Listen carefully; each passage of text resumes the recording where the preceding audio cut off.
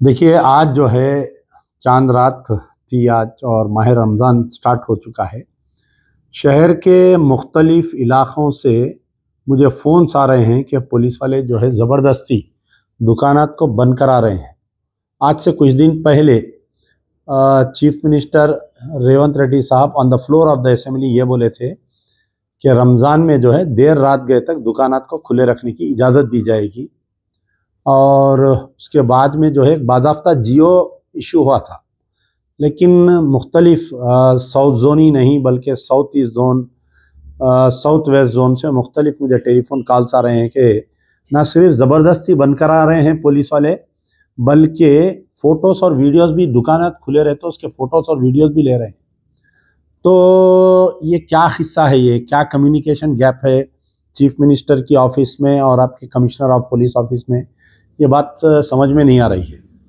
तो हर साल जो है, देर रात गए तक दुकान खुले रखने की इजाज़त रहती है।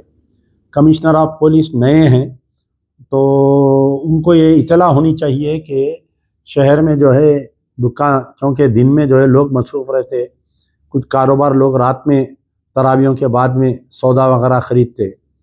तो इसका सख्त नोट लेना चाहिए कमिश्नर ऑफ़ पुलिस और चीफ मिनिस्टर ये दोनों में जो कम्युनिकेशन गैप चल रहा है, उसको दूरी करते हुए, ये आज जो जो भी दुकानदारों पे केसेस बुक किए हैं, वो सब वापस लेना चाहिए। कई दुकानदार बोल रहे थे कि साहब फ़ोटोज़ लेके जा रहे हैं वीडियोस लेके जा रहे हैं बोल के। और सबसे ज़्यादा जुल्म अगर रैन बाज़ार में हो रहा है, रैन बाज़ार से तो मुसलसिल टेलीफोन्स आ रहे हैं।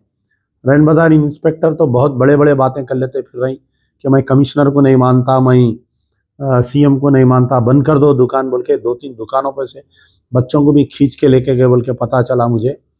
तो चीफ मिनिस्टर रेवंत रेड्डी साहब, कहीं ऐसा तो नहीं कि पुलिस वाले आपको बदनाम करने के लिए सब हरकतें कर रहे हैं, इसका आप नोट लीजिए और इंटेलिजेंस से रिपोर्ट मंगाइए।